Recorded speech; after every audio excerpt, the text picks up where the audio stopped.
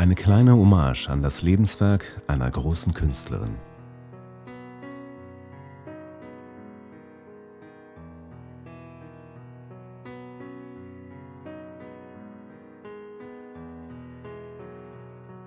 Wir befinden uns hier im Atelier von Ruth Baumgarte, die von 1952 bis kurz vor ihrem Tod 2013 gewirkt hat. Sie entstammte einer bekannten Theaterfamilie. Ihr Vater war Chef der Ufer und ihre Mutter Schauspielerin. Schon als Schülerin in Berlin der 20er, 30er Jahre ist klar, Ruth will Künstlerin werden.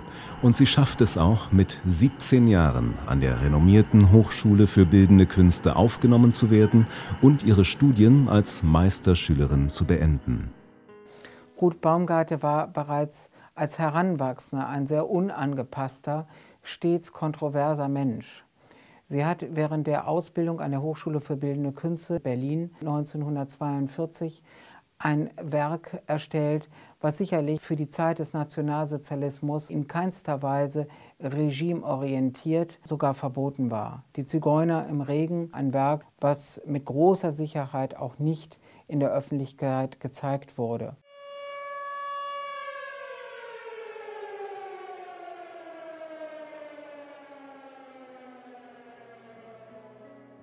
Nach Kriegsende der Neuanfang.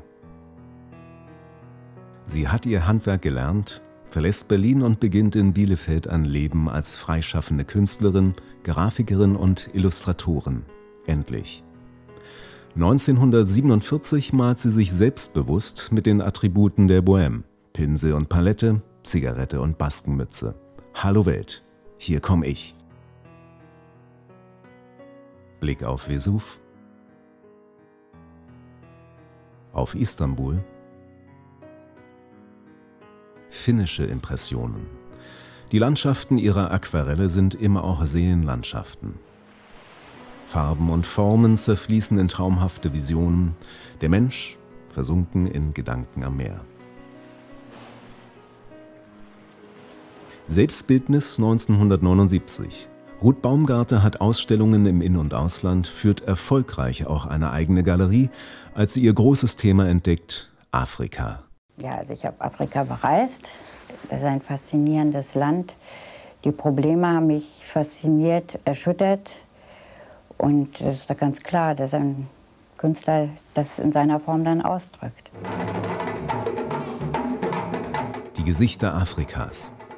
Jenseits der Klischees vom schwarzen Kontinent malt Ruth Baumgarte ihre Eindrücke in leuchtenden Kontrasten und großen Formaten.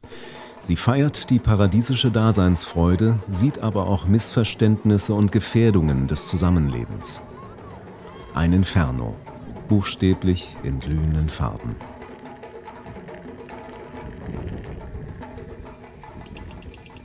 Über 40 Mal kehrt sie zurück in die Länder ihrer Sehnsucht. Nicht als Safari-Touristin, oft bleibt sie monatelang in tiefer Verbundenheit mit den Motiven ihrer Bilder. Unzählige Skizzen, die sie vor Ort gemacht hat, verdichtet die Künstlerin im Atelier zu magischen Kompositionen.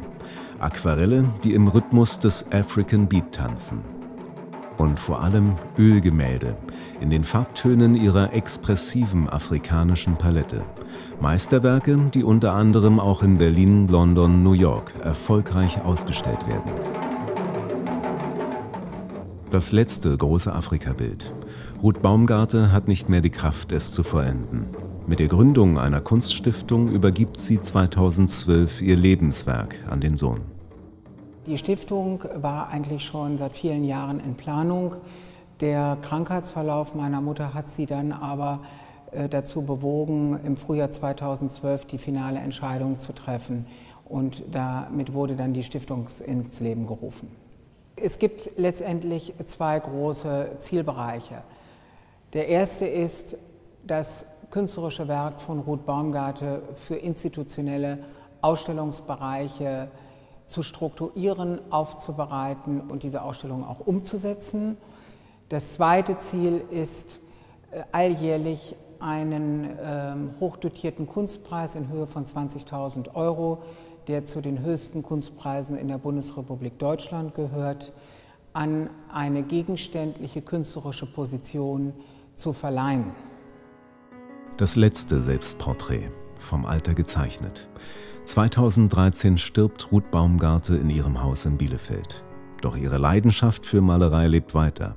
Auch mit dem Vermächtnis, in ihrem Namen zeitgenössische Künstler zu würdigen.